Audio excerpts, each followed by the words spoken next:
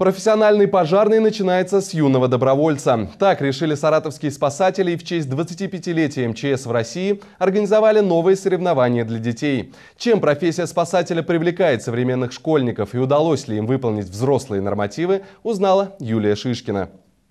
На стадионе «Торпеда» в Саратове соревнуются юные добровольные пожарные. Эти состязания впервые вышли на региональный уровень. Сюда приехали команды из 13 районов Саратовской области. На этапе боевого развертывания команда должна сработать как единый организм. Присоединиться к вентилю с водой, развернуть пожарный рукав и струей сбить мяч.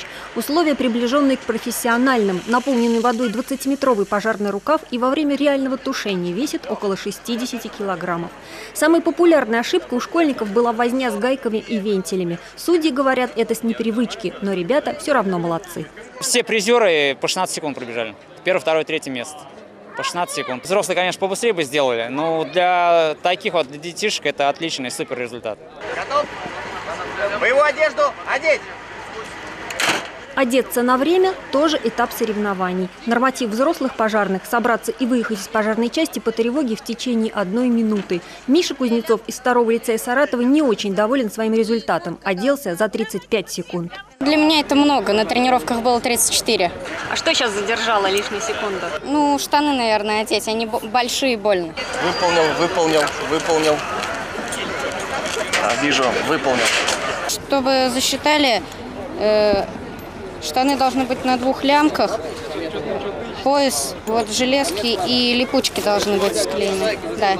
Большинство участников здесь из профильных кадетских классов МЧС, оборонно-спортивных. Таких в Саратовской области сегодня не менее 40. В команде из Балакова две девочки. Несмотря на это, ребята стали лучшими среди городских команд. К областному этапу балаковцев готовили профессионалы. Мы ездили в разные части МЧС, которые нам помогли как бы э, подготовиться мы также смотрели, также бегали. Подруга Марии по команде 14-летняя Юля Прокофьева наравне с мальчишками будет выполнять одно из самых сложных испытаний – подъем по штурмовой лестнице. На время надо покорить четырехметровую высоту, примерно второй этаж высотного дома. На старт! Внимание! Юля обгоняет всех троих юношей и первый штурмует учебную вышку. Девочка собирается стать спасателем. Мне нравится это очень. Знаете, такой адреналин, вот я не знаю, вот как объяснить, но это очень круто.